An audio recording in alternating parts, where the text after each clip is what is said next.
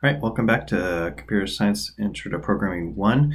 Uh, this is COC A211. Uh, this is Chapter 6, Part 3. All right, so we are just talking about uh, various aspects of sending information uh, parameter to, uh, uh, um, or sending an argument to a function to be treated as a parameter. And again, um, so you'll see this occasionally, but I won't refer to as formal parameters or formal arguments or actual parameters or actual arguments. Um, it, it's a little bit weird terminology.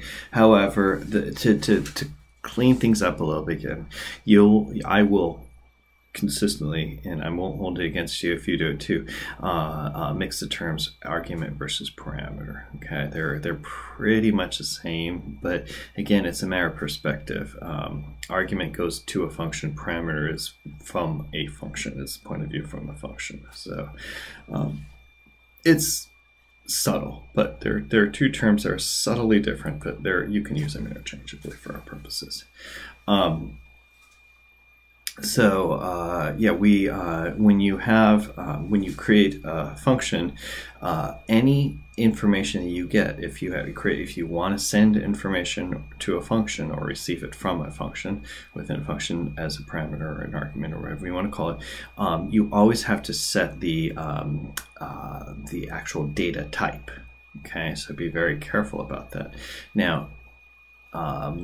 In the prototype, all you have to do is define the data type.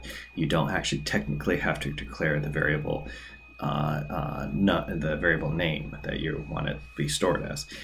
But go ahead and put it in there. So in the prototype here, I would put the semi or put the num. Okay, but in the actual header, you have to declare the variable type and um, variable name. Again, just do them both the same, please. Um, I won't take off points if you forget, if you leave off num in the prototype, but it won't work if you leave off num in the header, and it's just easier to make them the same. Um, and again, you can um, send, a, so I call it by this, this last line there, this function call.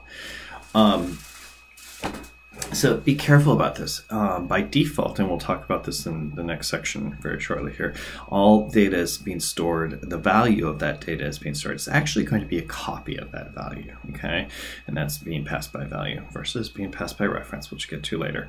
Um, so if a value, if information is being sent to a function, it's actually the uh, the computer goes and actually makes a copy of it before for that function to use. The function does whatever it needs to do, and then returns the control back to the, the main or the calling area of the uh, probably the main function.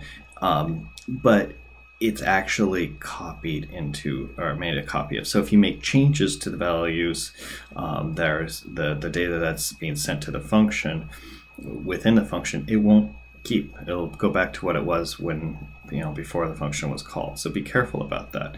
Um, also, that value, those variables that you create, any variables you create within a function or as the parameters of the function, those variables have a limited lifetime. Once that function's done being called, they go away. Okay, so be careful about that. Um, functions can also have multiple parameters, which we'll talk about in the next next section. Um, and you just separate with a comma. Okay, make sure though that the order is clear, and we'll talk about that as we get going here. Okay. Um, so yeah, keep the prototype and the headers the same as I was mentioned before. Um, and if you send like a, um, if it's expecting an integer and you send a floating point value, well, it's going to demote, be demoted to a integer. Okay, so it's going to be converted and basically truncated. So be careful about that. Make sure the data type that you expect is the same as the data type that you send and vice versa. Okay. Just be cautious when you're using. Not cautious, but you be no, uh, cognizant of that. Um, so we now we'll talk about sending multiple arguments to a function, and you can send as many arguments within reason as you want. Generally speaking, you want to limit it to three or four at most. Um, most functions take one or two, or sometimes none. Um, it doesn't have to have any uh, parameters sent to it, um, but most functions take one or two items um, or two uh, arguments. But it can be a lot more. Um, but be reasonable about it. So the number of arguments that a function expects needs to be when you call the function, it needs to be the same as the number of arguments it expects. So be careful about that. So they both must line up with the prototype and header and the call. So there's three things that you have to worry about there. Um, and the order is extremely important and so is the data type. If you mess up the data type and the order, your function won't work or won't it won't it'll, you know get weird. Okay, so the order is important. The order is up to you, but whatever you decide the order to be uh, for the definition, make sure in the header it's set the same as the prototype, and make sure that the calling function or where you call it, from where you call it, you you send it in the right order. Okay, so simple as that. Um, so again, this is that terribly design, terribly annoying um, prototype, and you notice that at first glance, I don't know exactly what show sum does, but if I look at the um, uh, the function header instead of the function prototype, I have num1, num2, and num3, and I kind of give a little bit more information. So I would have put num1, num2, num3 in line 6. It makes it prettier, it makes it cleaner, okay?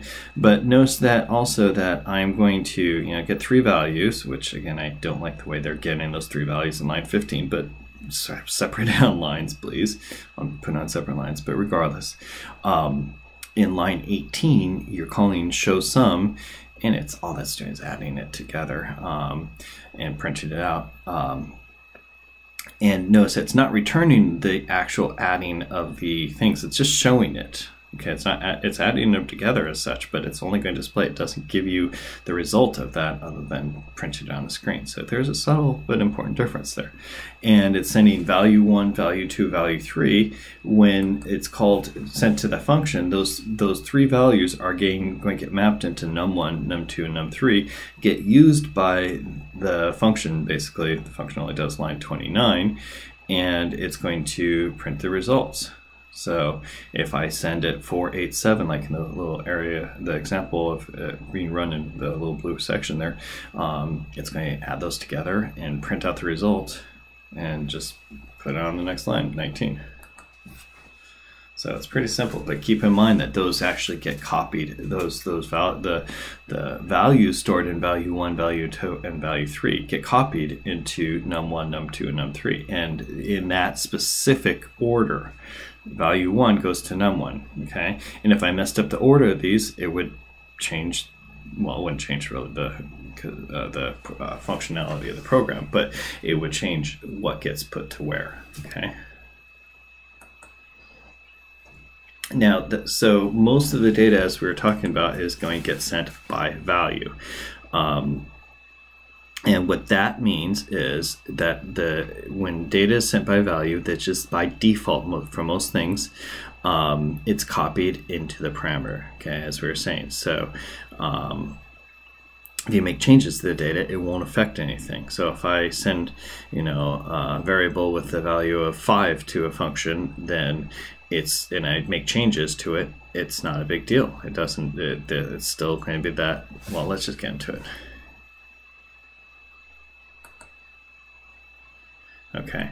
Um, so if I have value of uh, val equals 5 and I have a function even or odd and I go and change val to something else, um, it's still going to be the same when it actually is done. Okay, this is this is actually a very confusing slide, but it, it, gets copied into the function num or the variable num for the function. If I change anything for num, Oh well, it doesn't affect the variable val. Even if they're named the same thing, and a function can be named, have the same name, variable name as the variable that gets sent to it. That's perfectly fine. It's happens commonly if you write your function well because there's a logic to writing your function and there's a logic to using it and they're kind of the same. So it's not unusual for it to be um, have the same variable name but they are different variables. One is local to the function one is local to the area calling the function and the two do not interact. So they're completely separate. The variable the data stored in the local function our local area is copied into a variable used by the function and it can be changed and done whatever and then when the function is done it doesn't change anything uh, for the actual originally calling area. All right, we are going to pause here.